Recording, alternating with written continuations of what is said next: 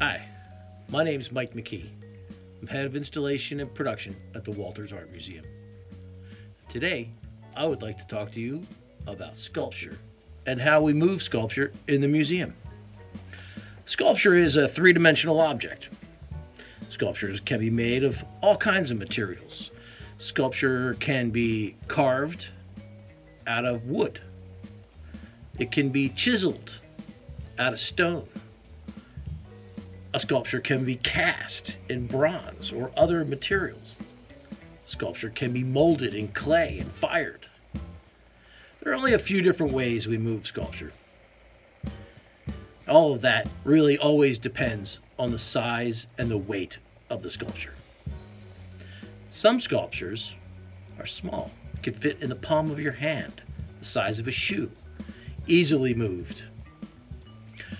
Other sculpture a little bit heavier, a little bit larger. Maybe it takes two people to pick it up. These objects can be lifted onto a cart and moved as well. Sculpture larger than that, we often slide from one surface to another.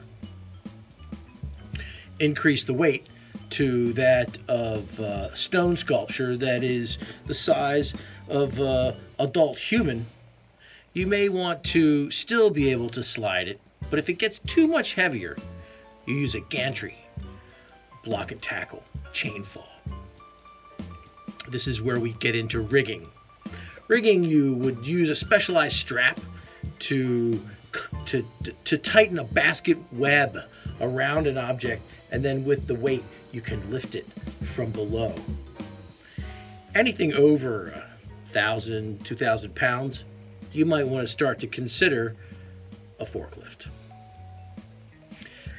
Today, I would like to talk to, to you more about uh, how we slide sculpture from one surface to another using this sliding technique that I'll share with you now. Here's an example of a sculpture that we will slide from one surface to another. This is a portrait of Othello by the Italian sculptor Pietro Calvi. This was made in the late 1800s. It is a life-size sculpture that's made of bronze and marble. It's about 34 inches high, 22 inches wide. It probably weighs 200, 250 pounds, far more than we want to pick up, but it doesn't need a gantry. We can slide this sculpture. Before we move the sculpture, it's always important to examine the piece. We look at the side of the sculpture and we see a line. That line separates the sculpture body from the base, called a socle If we turn the sculpture to the back, we have a better idea of where this line goes. With a slight movement, one art handler can move the sculpture a little bit, and we see that that is a well adhered socle to the sculpture.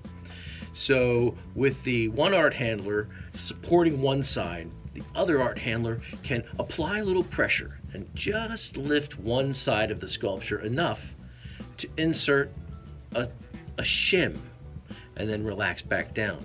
And then we have a clear line. We can see underneath the sculpture just enough to get a padded crowbar in there. And with leverage, pull back on the crowbar, and then we can insert something we call Tivar.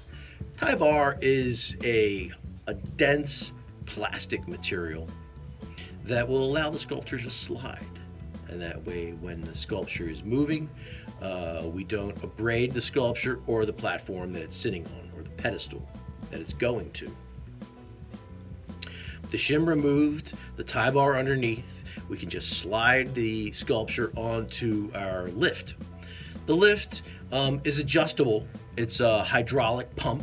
So as you as you pump the pedal, the the table can come higher and higher to exactly where we need it. And we slide the sculpture onto the lift table and then we have a, a, a release brake that we can lower it back down. It's very important to have the weight as low as possible on these carts when you're moving a sculpture from one place to another. The higher the sculpture is, the more tippy it gets. So you want to keep it low to where you're going. And when you arrive at the location where the sculpture is going to be reinstalled, you just jack up that, that platform and do the same process in reverse. Slide it onto the pedestal, carefully lift it up one side, remove the, the Tivar, slowly set it back down. And that is how we move sculpture by sliding at the Walters Art Museum.